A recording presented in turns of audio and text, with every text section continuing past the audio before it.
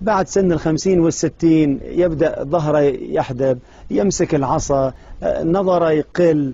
فهذا الهرمون هو اللي يأثر في دخول الإنسان مرحلة الشيخوخة. بدأوا اليابانيين يفكرون كيف يستطيعون أنهم يزيدون من هذه المرحلة بحيث أن الإنسان ما يدخل إلى سن الشيخوخة مبكر. واكتشفوا أن هذا الهرمون الموجود بعد ما مسحوا كل النباتات اكتشفوا أنه موجود في التين.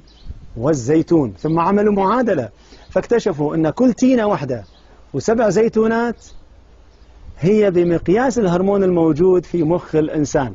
شيخ الأزهر لما سمع بالبحث أرسل لهم صورة من صورة التين والتين والزيتون وطور سينين فاليابانيين ما صدقوا قالوا من 1400 سنة أنتم عندكم سورة في القرآن فيها آية التين والزيتون؟ وفعلا سألوا شيخ الأزهر قالوا له كم مرة ذكر التين في القرآن وكم مرة ذكر الزيتون؟ فقال التين مرة والزيتون سبع مرات. أي نفس المعادلة اللي توصل لها البحث. فلما هم سمعوا بهذه النتيجة سبع يابانيين قالوا أشهد أن لا إله إلا الله وأن محمدا رسول الله ودخلوا في الإسلام. إذا نحن نتأمل